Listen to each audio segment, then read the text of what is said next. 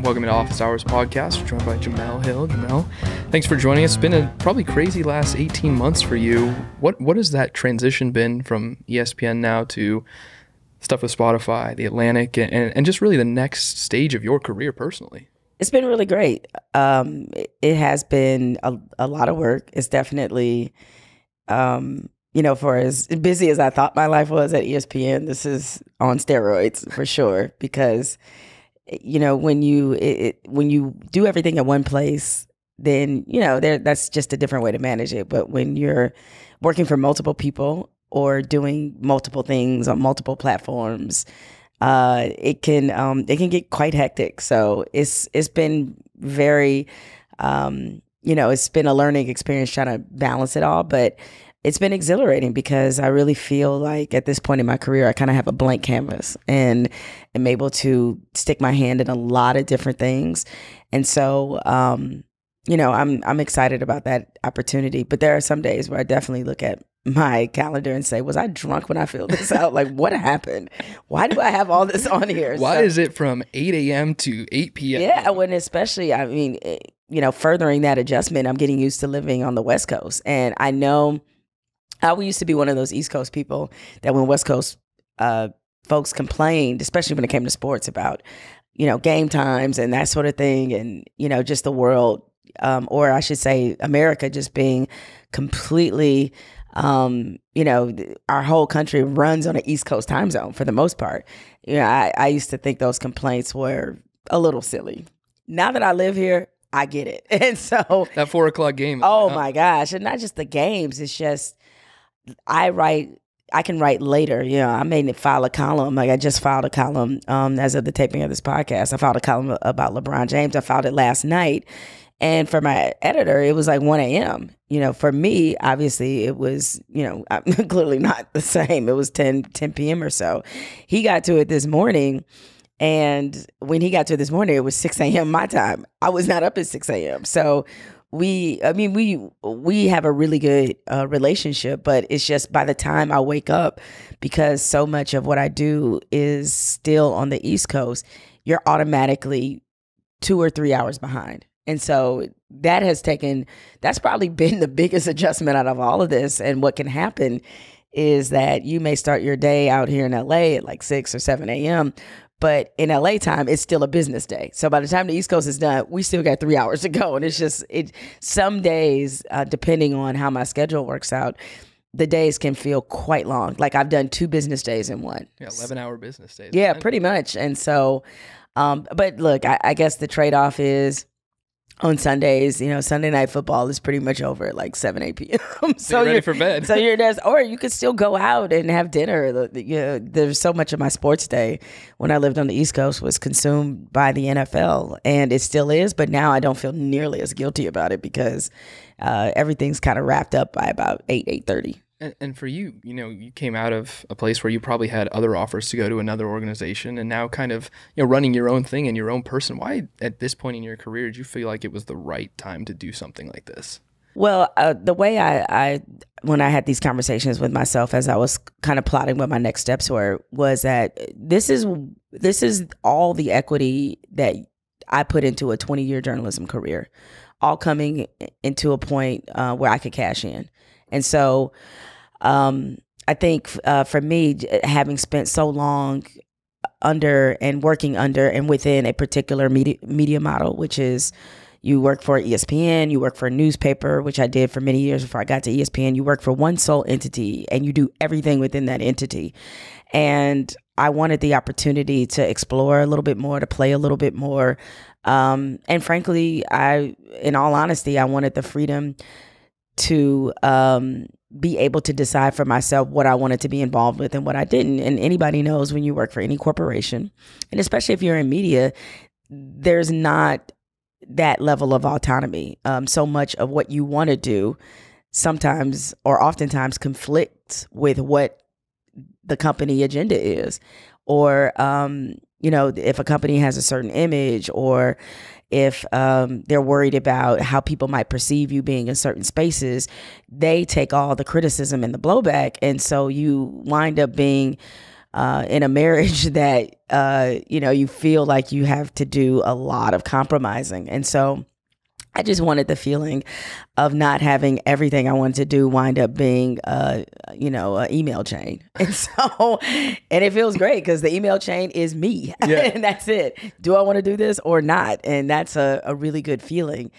And I, you know, I, I wanted um, kind of just this to use this time and this this opportunity to kind of not just cash in on the equity I've built in my journalism career, but put myself in some different spaces besides sports. And the great thing is, um, you know, I guess if you want to say there was a, a silver lining to all the controversy, I guess that I caused at ESPN is that it got people to see me in a different way. And being able to weigh in on political and social issues in a in a in a harder way, in a deeper way, in a more meaningful way, has been really exhilarating for me because I before I got to the Atlantic, uh, I spent my last few months at ESPN writing for the Undefeated, but it had been a while since I've been a full time writer. So getting back to that has been um, a real jolt for me at this point in my career. And when it comes to talking about politics and sports on a deeper level, and, and there's obviously been this conversation in, in the media just in general about what like the role sports plays in politics. Is it something that you think can be deeper from both a mainstream standpoint, or is it something like you know, that sports, that sports, this is politics, this is politics. We only engage on certain areas. Well, this is not like the lunch tray you got at school where the peas were in one section, the pizza in another, and uh, the chocolate milk. The chocolate milk yeah, here. No, this is not like that. I mean, sports politics, social issues, they've always been mashed together because there have been moments where sports has been able to kind of lead the rest of the rest of society with um, you know uh, uh, with a with advancement. You know, I mean Jackie Robinson integrated Major League Baseball in 1947. That was almost 20 years before the the uh, Civil Rights Act was passed, and so. Um, sports can kind of push society to a place that it hasn't gotten to yet. And, you know, the one thing that's kind of beautiful about sports is that it's one of the few things that people in this country do together. Um, we tend to worship uh, separately.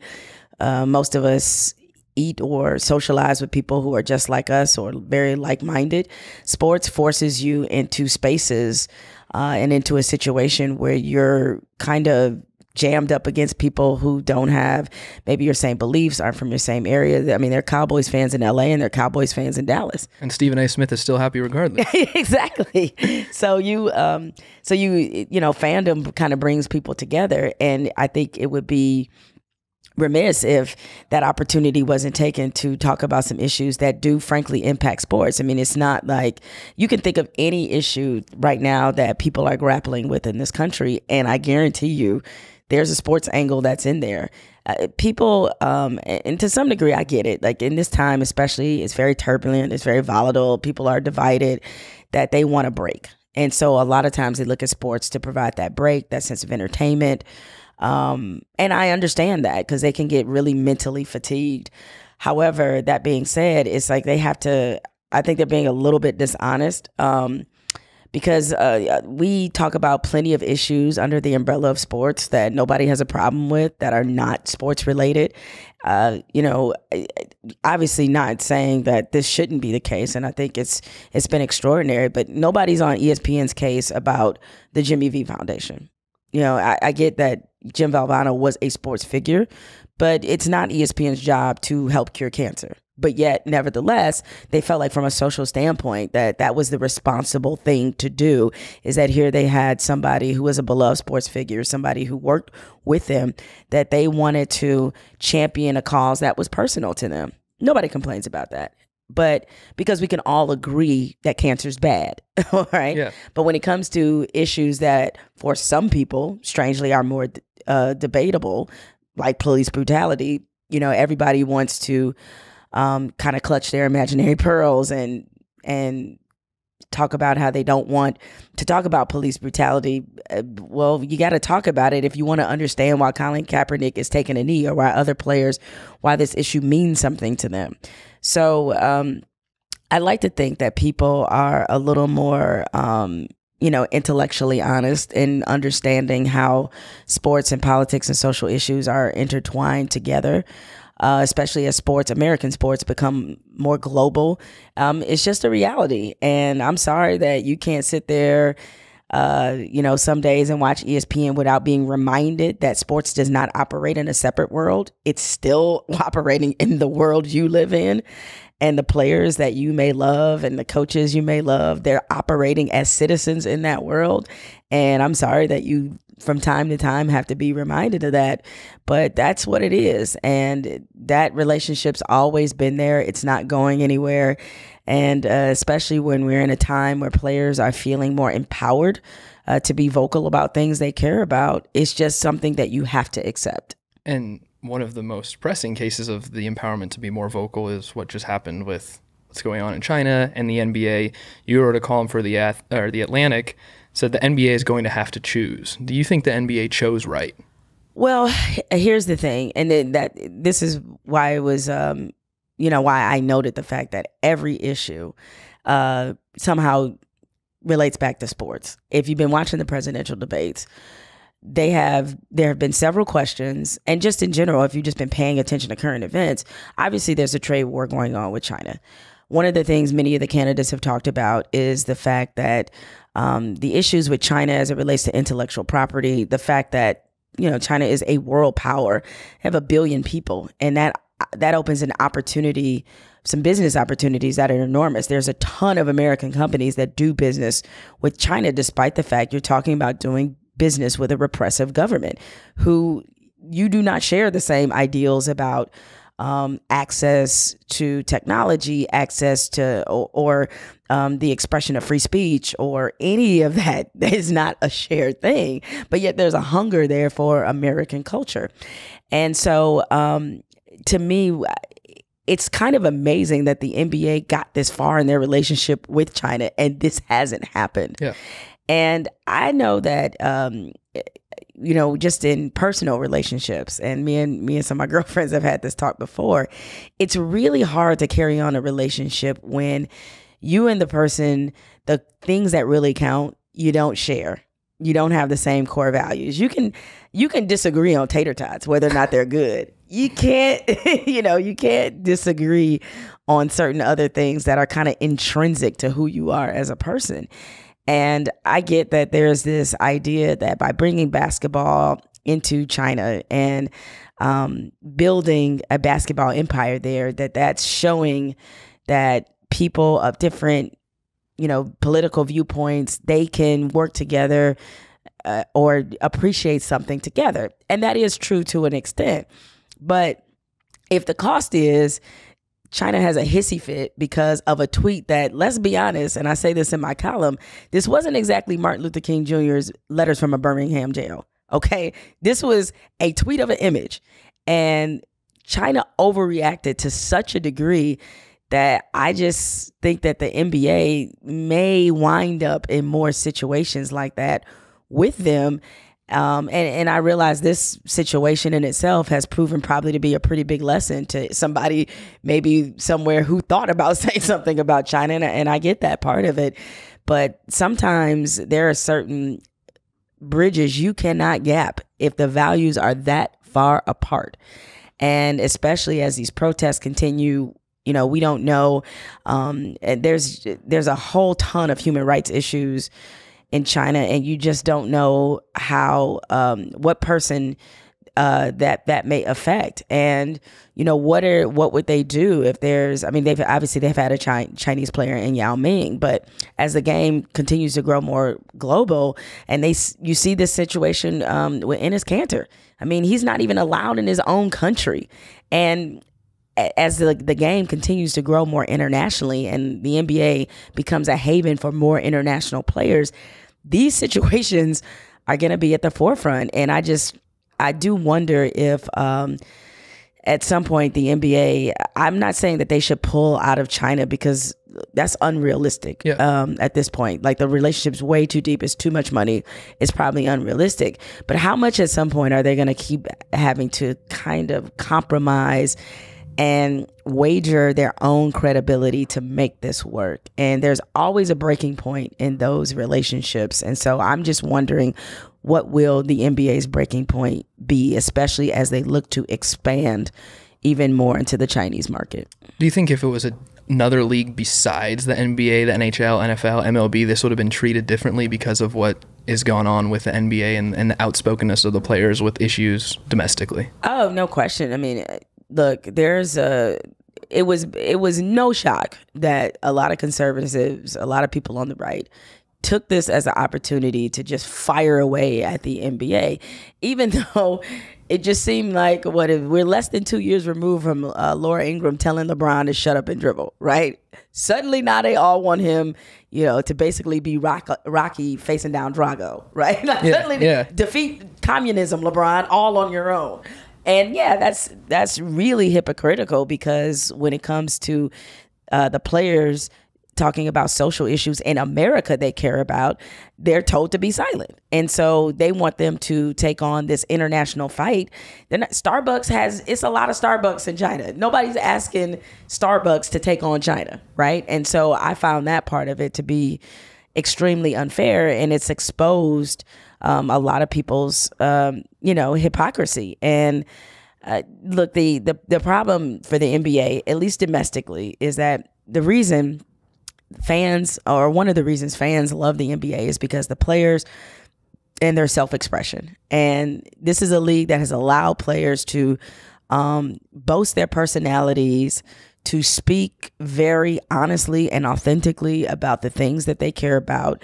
In some cases, as in LeBron's case, Steph Curry, Kevin Durant, to speak out against their own government.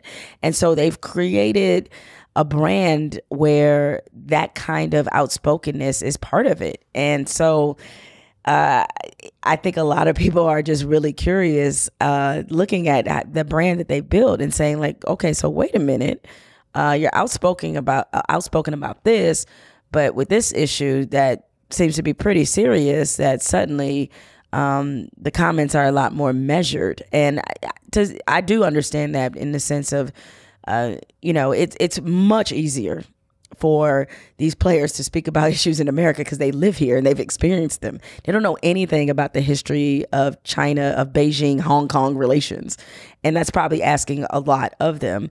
Uh, but the one thing that they can't stand for, just on principle, is having another country try to influence your freedom of expression.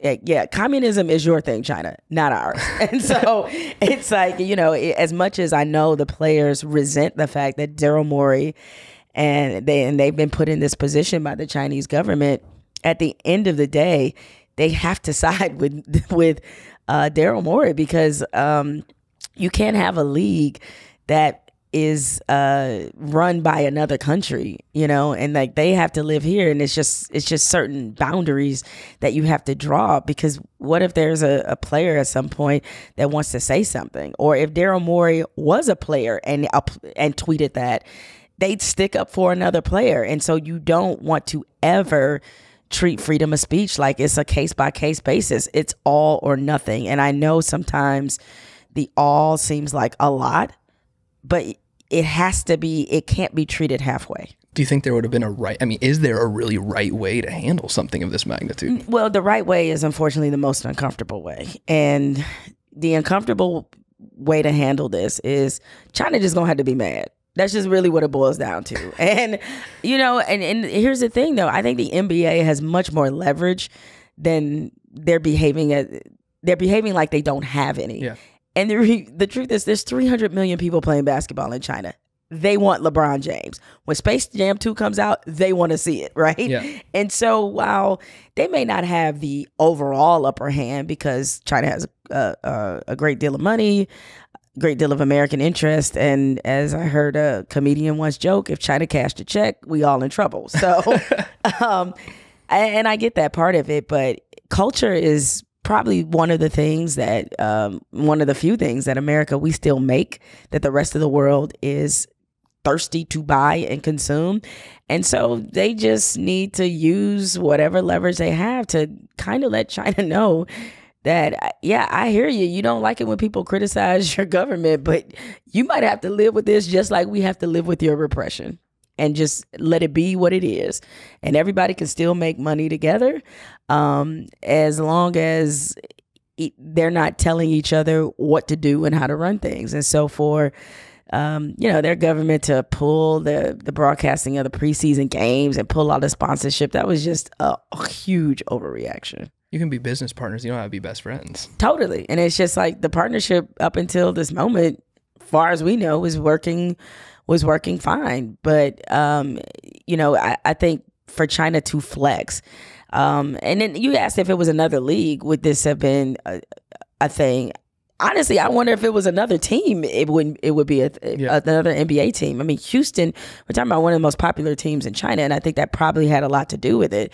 If you know the Raptors GM does this, I don't know if it resonates the same, or maybe not the Raptors. And then you have you the know, Lakers and the Nets going there, yeah, two very popular I mean, teams. LeBron, because LeBron, uh, you know, I, I tell you what though, I mean on the other end of it, if LeBron had tweeted this, I doubt if China's trying to ban LeBron. He's just way too important there, you know? Yeah. Or Kobe Bryant, who is one of the most popular players in China. Any of their most popular, sought after players, I don't know if this still resonates the same. It'd be uncomfortable, but, know, I mean, if somebody, you know, if the Pistons GM tweets that, like, they don't care. Yeah. And I mean, look, outside of the statement that was tweeted in response to what he tweeted. We haven't heard much from Daryl Morey, obviously. Well, and surprising. of course, not yeah, surprising, I'm right? sure but the as, NBA has put him on military silence. But as someone who you know obviously went through some controversy, but not to that level of controversy, what is like being on that side of the table and probably dealing with all of this internally? Well, from that standpoint, I could definitely relate to what Daryl Morey is because I'm sure there are thoughts that he'd like to offer and he'd like to share his experience or just put his story in his own words. And when you're employed by a corporation and a team, or you know, he's employed by the team, but he's a part of a larger machine in the NBA. He right now he doesn't have the right to do that. He doesn't have the right to speak for himself because um, I'm sure there's a great level of concern that this will keep the story going. And there's also the other part of it where um, the fear of him saying something else that might lead to uh, this conflict uh, lasting even longer. So there's very practical reasons why um, he's not talking right now. The the unfortunate and unfair part of it is because he's not talking. It's very easy for this conversation to shift onto the players, and suddenly they become the ones responsible um, and answering for things that happened that they didn't do. And so that part I think is is unfair um, to them. And uh, you know, uh, it's it's tough because there's all these think pieces being being written about you when you're in that situation, and uh, you know, which is.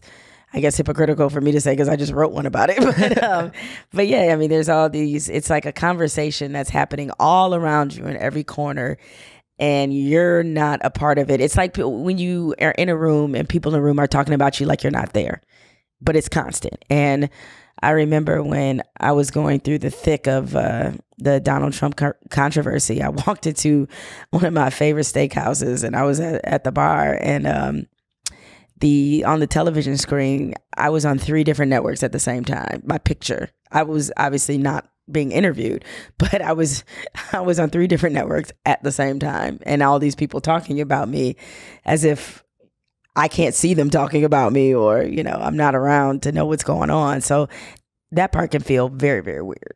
And probably pretty lonely too. Yeah i mean i guess i didn't um, look at it as I, I i didn't feel isolation as much as i felt as if um as much as I as, much as I felt that uh, I was kind of a little toxic. That would probably be the word I would use. Is that you start feeling it made me a little self conscious in public spaces because when yeah it was uh it was in conjunction with the fact that I was on television every day. You know, I was still doing Sports Center at the time, and so I'm on TV every day. And so when you walk into a restaurant and people start looking at you and you see the whispers, I don't know if it's because I, I said the Patriots going to win the Super Bowl again, or if it's because they are a Trump supporter. Like I don't know what I'm what I'm walking into, yeah. and so it made me for a little while a little self conscious about being in public. I wanted to try to blend in, but that kind of became a little impossible. And another interesting part of this whole sports and politics issue comes down to now the NCAA, right? Like now all of a sudden sports and politics are, are a championing point and even something that people are building platforms on for presidential debates, right? Um, you know, you again wrote something that NCAA will never fix itself. It'll, it has to like rely on an outside entity.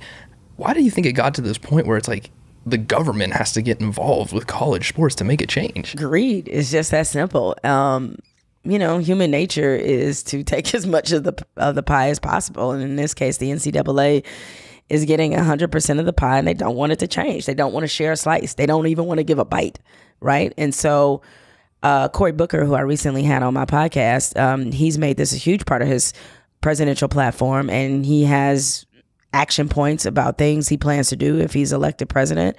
And uh, but it's a personal issue for him because he was a college athlete, a high school All American. He played at Stanford. And so he understands the inside of what this looks like.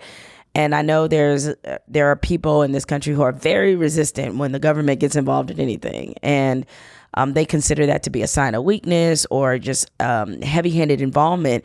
But in this case, I think it's absolutely ne- uh, necessary because of of what the headline said. Is like if you leave the NCAA to its own devices, it's going to continue to exploit college athletes. It's there is no other. That's their default position period. And, you know, President Mark Emmert has said that repeatedly uh, ever since, um, you know, California Governor Gavin Newsom signed into um, law uh, the ability for college athletes to make money off their name and, and, and likeness.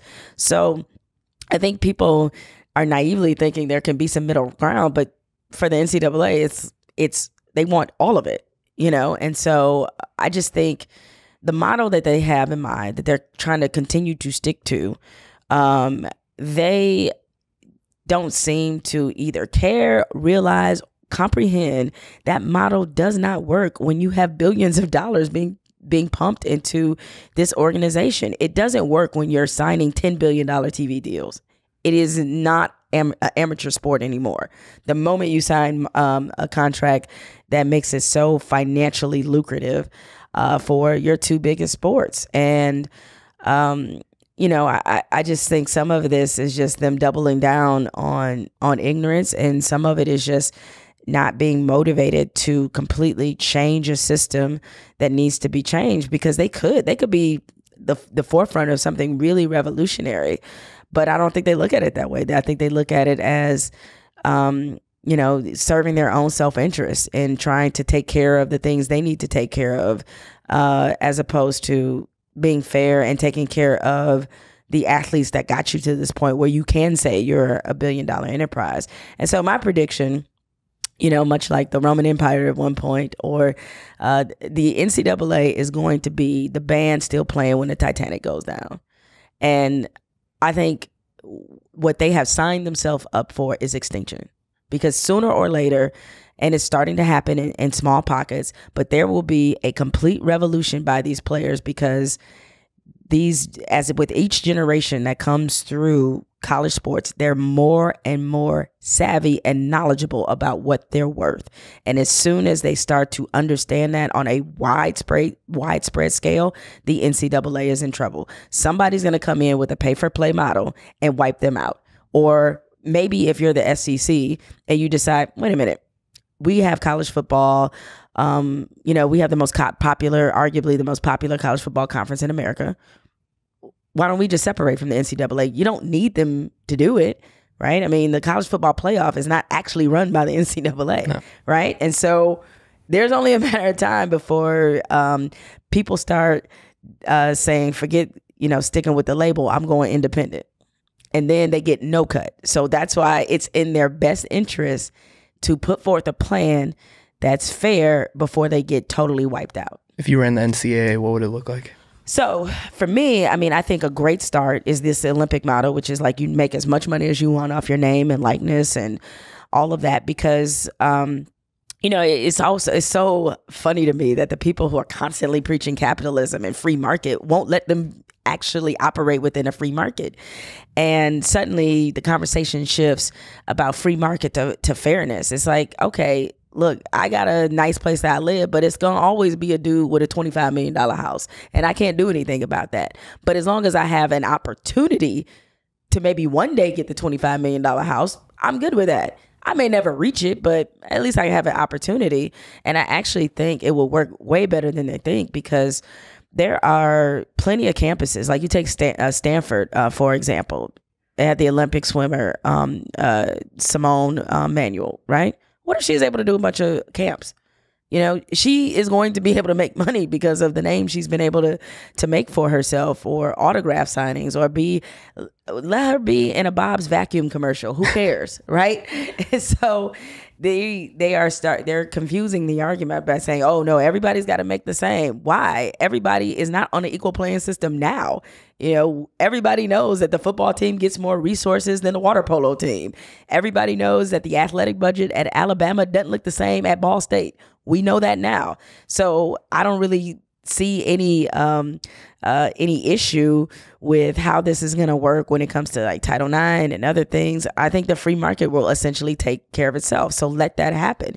And I would say in that there are some cases, depending on who the athlete is, that you need to, especially with you know a, a Zion Williamson, where where guys that are hugely popular at a different level than than everybody else um, that they might need to develop separate contracts and partnerships with people like them uh, so um, that everybody's protected, mostly that athlete themselves. There's nothing wrong with making a lot of money in college. There's nothing wrong with that. And I think in some cases, maybe you might see some of these guys stay longer if they didn't feel like they needed to go to the pros right away to make a bunch of money. Um, but it's always been little things that they could do in terms paying for players, uh, their parents' travel. I know there are certain stipulations where they can send them home X amount of times a year. Why are we putting a cap on it? Like send them home, you know, and uh, considering these scholarships are not four year scholarships, they're one year renewables. Um, why not have it so that the athlete at any time, uh, and this is something that Cory Booker uh, discusses as well, anytime they can go back to college for free give them a lifetime education. So what? You know what I'm saying? Um, you know, that might also not just improve their quality of life, but I think in many respects it would uh, promote taking education a little more seriously. So there's a ton of things that they can do. And I just think it's really lazy whenever they say, or whenever people who are trying to defend the NCAA say, well, how would they do it? And, you know, it's so complicated. They make it sound, they honestly make it sound like time travel. It's not that complicated. Yeah. You guys certainly figured out a way to keep all the money. I'm sure you can figure out a way to actually share some of it. And do you think, at least at the collegiate level, it could succeed as like a professional model attached to a college? Right. I think that's something people don't even think about. Like, what if, for example, I will just say Stanford's athletic department went and ran itself and licensed Stanford's logo from Stanford and just was like, okay, we're going to run ourselves as a separate entity and we're going to be the Stanford athletic department, but we're going to be a, a business. A business, yeah. I mean, I, I, think that's more realistic for sure, and it it honestly probably cuts a lot of the red tape because they're trying to they're trying to have it both ways and um you know have all the benefits of being a business, but yet um you know sort of cling to this ideal, this utopian ideal of being you know amateurism, and it's not, and so you know, it, it, I don't think it's as hard to figure out as as we make it seem. And you know, there are a lot of people who are acting as if they somehow will not be able to carry on with their lives if they know that college athletes are getting paid. Like that's taking away some enjoyment from them from the game because they like to fool themselves into emotionally thinking that you know that they're just there for the love of the game and the love of the school and while some of that might actually um, be true, there's so many of them that want to go to the next level anyway. And I think you can still find little ways to make that distinction between pro and college. But, uh, you know, at the end of the day, it's like you, if compensation isn't on the table, the NCAA is going to be doomed at some point. What do you think dooms it at the end of the day? Uh, I, I, think uh, athletes are just going to get tired of it. Um, tired of having to follow the rules, tired of being cut out of the pie, and um, especially you're looking at college football and what some of these coaches' contracts look like, and you see somebody like, you know, Dabo Swinney guaranteed $91 million like a college coach. He's damn near making what Jon Gruden makes, right? And so if you're a kid that's watching that and say he gets 91 million and I get nothing, no, that's not gonna sit right. Um, look, maybe Maurice Clarett didn't have the wasn't the right person to do it, but I feel like at some point a college athlete is going to try the the NFL about this. You know, you got to wait till three years um, from your high school graduating class to be eligible because. I mean, in truth, uh, you're you're limiting somebody's ability to make money, and I get the NFL is a private enterprise, but nobody, no other business is really allowed to do that. Uh, and everybody knows that it's only a matter of time. Sooner rather than later, the NBA is going to get rid of this one and done rule because it was pointless. And so, uh, as that happens, um, as players explore going out of high school and going to the G League or going overseas, I think they're going to become much uh, sharper and smarter about avoiding the NCAA altogether. Uh, or, I mean, even in little ways, like in college football, um, the players are using the system to their benefit. That's why suddenly you see so many graduate transfers. Um, they're leaving high school earlier to get the clock ticking, you know, and um, and they can graduate earlier and then they can transfer without having to sit out and just go like if their situation isn't working out they'll just go somewhere else and you know they what you wind up doing the ncaa by by kind of ignoring reality is that you create quite an underground economy and so unless they want to spend you know, a bunch of so many legal fees, dealing with the FBI, dealing with um, some of these uh, situations with boosters. It's like it just makes so much more sense to operate from uh, like a business from the from the top to the bottom. Do you think the NCAA can save itself? Nope. I, I, I think they're gonna they unless there is not just new leadership but a new mentality. They, as I said, they will be playing on the Titanic as it goes down. Speakers will be exploding and they're going to still be playing. right? And part of this, the college conversation, and, and, even personally, what you've talked about before is is the distinction between an HBCU and these historically white colleges as well, and the difference in the power broking there. And I, I know you had a, a, story on you know a basketball player, power you know power basketball player, five star recruit taking a visit to Howard, and the impact that that could have. Do you see that if something happens with the NCAA, these HBCUs now have a, a much larger role in the conversation. Uh, I, I, hate that I forget um, the organization's name, but there's already an organization who's um, trying to drum up support for that to, for, for the HBCUs to to adopt a pay for play model and leave the NCAA. And that's why I said it's, it's, really just a matter of time before somebody does that.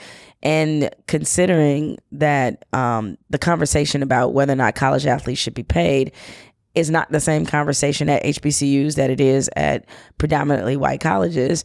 Uh, they also have an opportunity to shake up the marketplace by separating from the NCAA and creating a real pay for play model that will theoretically that should attract more um, you know top tier players to them. Um, they can kind of they they couldn't completely cut out the cut the NCAA out the picture, but they can certainly disrupt what the system is if they decided to do that. And they would have the extra appeal of, you know, having um, black athletes know that by going to HBCU that uh, they're contributing to what was once for this, you know, country and for you know Black America in particular that was its core base. Um, even now, even with obviously the ability for anybody to go anywhere, I mean, HBCUs uh, produce forty percent of black professionals in the workplace. That's a high number.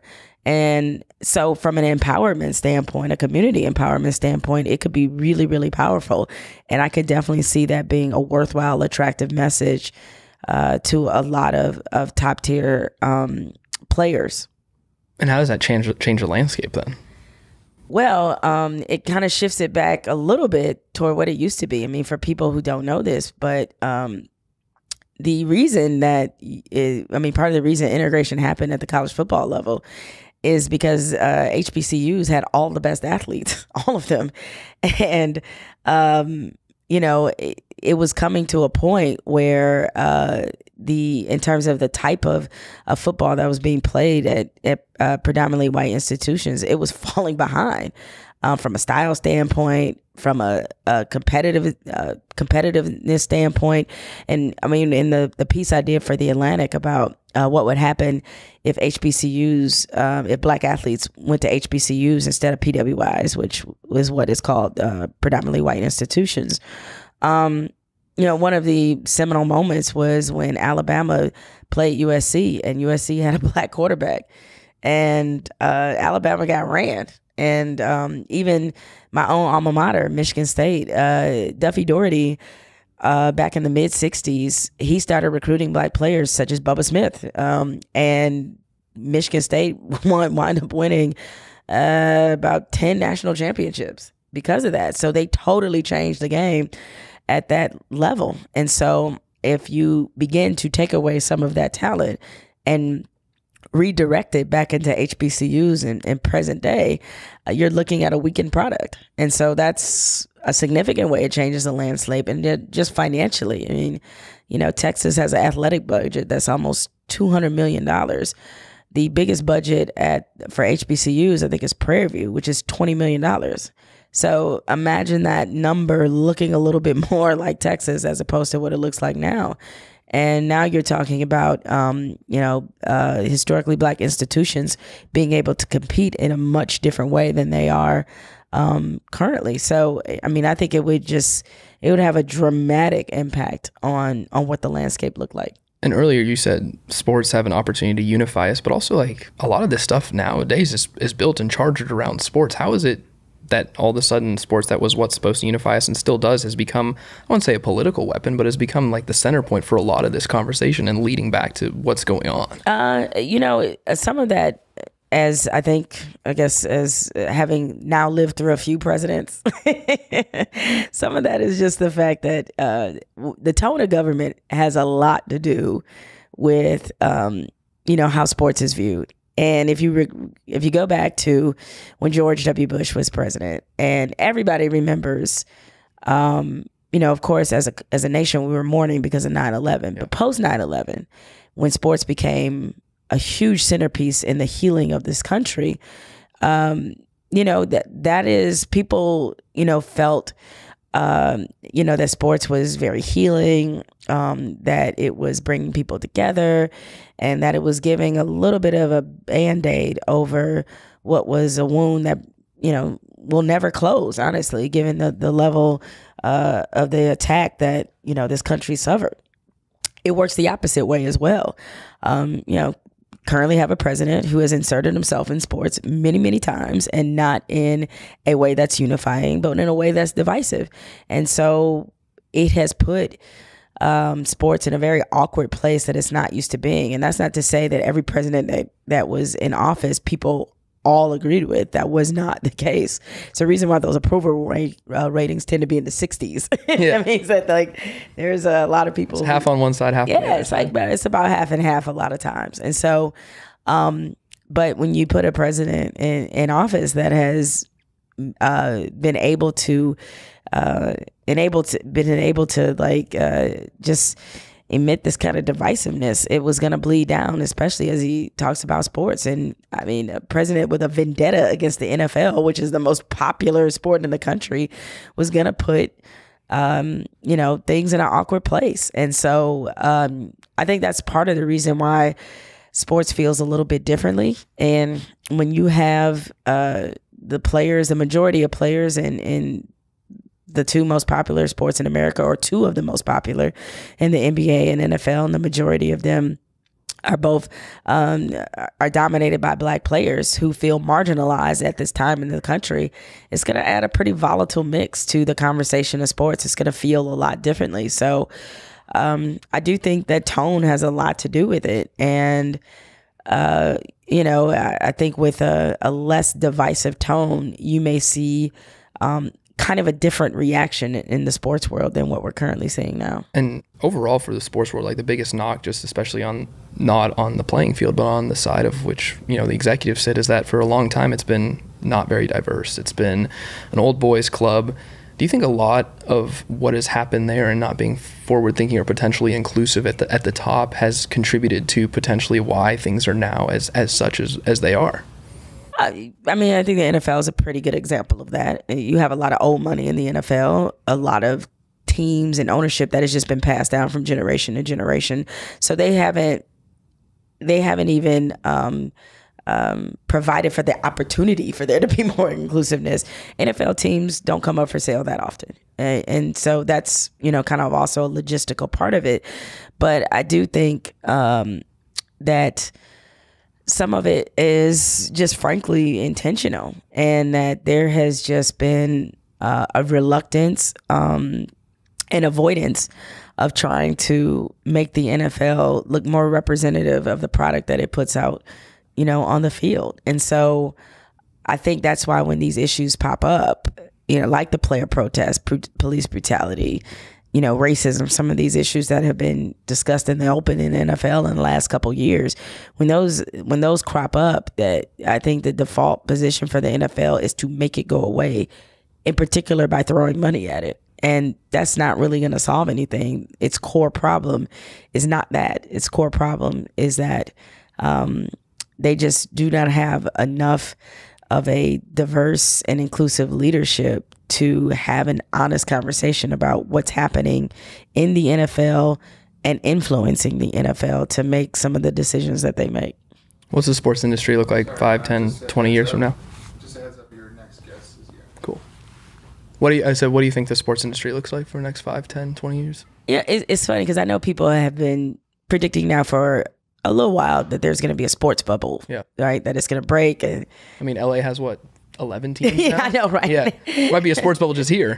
That's true. Um, and kind of their fault is like you take it away, you let people get used to not having it. How do you think they're going to react? you know. They're, so, um, but yet I don't. I don't really think that'll be the case. I think what you'll see is like the NFL is. I don't see, at least in my lifetime, the NFL just completely self-destructing and falling down even though people have been like oh people are gonna get tired of the concussions and the other stuff and you know whatever it will be death by a thousand paper cuts um, and so by that I mean that people just will start to have more options. I mean, you already see it now. They already see it now, right? Is that I, am really curious because the way that millennials watch sports and what sports they like versus say my generation or um, you know or even older is markedly different. And while I don't think the NFL is going away or is going to go extinct, one one uh, statistic with them really jumps out at me is when you look at their the age of their average fan and it keeps getting older. That's not a good sign. And I'm not surprised that, you know, today with um, cell phones and technology, so many more options for um, younger people. They're not exactly content on sitting down and watching a football game for three and a half, four hours. They're just not. Hey, when I was growing up, my favorite sport was baseball, right? And people complain routinely about how long baseball games are in present day. But when I was a kid, it didn't seem like uh, it didn't seem like much of a um, much of an inconvenience at all. Why? Because I didn't have any other options. you didn't have a you didn't have a cell phone. I didn't have a cell phone. I didn't have Netflix. I didn't have Hulu. I didn't have all these other things that could easily take away my attention. So that's the thing that the sports leagues have to compete against is that there's a fight for everybody's attention. And i think for a long time sports took that for granted that they could always get it no matter how long it was no matter um, how good teams were or coaches were or what the game looked like. They counted on you being there and i don't think they could count on that anymore. So i just see much more competition uh, for the major sports leagues than before. But i also feel like there's certain sports who are in the perfect position to handle the millennial viewer. I think the NBA is perfectly poised. I don't know if it will ever get as popular as the NFL, but they certainly have a lot going for it that leads me to believe that they're in a great place. I mean, individual players that are able to achieve global stardom, the marketing, how they allow their players to freely use social media to to not just market themselves but to show their authenticity. Um, the fact that it's a fast game, that always helps. And then you look at soccer, same thing. It's just like, you know, you have a game that globally is the most popular game um, in the world. And while I know there's been a lot of stop starts with that popularity in America, I think they're on the upward trend like crazy. And with, you know, FIFA being such a popular video game, that sport is trending high. And so, yeah, I mean, I think um, these these other leagues that the NFL is used to not considering competition suddenly will become major competition. And now we talked about the future of sports. What about the future of Jemele? Right? I'm day to day. Okay, I am day to day. You know, I was younger. Um, the five year plan was everything, right? Yeah. Ten year plan. You know, you had to figure out where you're going to be in the next minute. I look. I'm just happy if I make my next appointment on time, and um, which is not a bad feeling to have yeah. because I think one thing I've been able to do is I've been able to really adapt over the last five to seven years in my career. When I got to ESPN in 2006, I came in as a dot com columnist. Television was not in the front view, the rear view, the side view, my peripheral, none of that. Zero. Zero. I didn't want to be on TV. Yeah. And fast forward five, six years later, it was 50% of my job. Another two years, I was on TV every day. So uh, to me, it was a great example of how you it's not that you have to have and i tell this to young people all the time because I, I get it. When you when you're younger you have anxiety a lot about where you're supposed to be. Are you making the right decision? What your life looks like five years from now? And um there's a there's beauty in not knowing and in uncertainty um and there's also a lot that can be learned by being able to be adaptable um understandably in our business and journalism, huge concern about the future of journalism. It's been that way in my career for the last 20 years since I stepped foot in this. There were people very concerned about what the future was as less and less people were reading the paper. Got concerned, um, not got concerned, but there was so much uh, concentration and focus, overly focused on the method and not the information. Information is still just as powerful as it was um, when I got into business. And long before I did, it was just as powerful then. Focus less on method, focus on the fact that people will always want to be told something they didn't know, and they will always want someone else who presumably is smarter than them to put these things into context. Journalists are here to chronicle history and to not and to hold governments, powerful entities, and people accountable. That never goes away. That never gets old uh, despite how many people claim they hate journalists. All right. And so um, I say all that to say is that I think as long as that's the okay, that's the case, and I'm focused on those things, I'll be able to adapt whether uh, the method in which I'm reaching people is on a stone tablet, on Instagram, or something else in the future I can't even contemplate. That they hologram in the room. Exactly. Yeah. You know, uh, so whether I'm virtual uh, virtual uh, reality Jemele in ten years or not, so that's why I don't I don't really. Um, trip about uh, the the waves of technology. I mean, you of course number one is that you have to be interested in learning those things, but uh, you know, I have a, a couple decent gifts one of them is journalism, the ability to tell a story, and I just I just think those are those are gifts that always serve you well, no matter what. And so, as long as I'm focused on that part of it, I'm not really concerned about where I'll be in in 5 years because I know as I have been for the last 22 years I'll be doing that telling telling a story um, or telling people something that they didn't know they needed to know.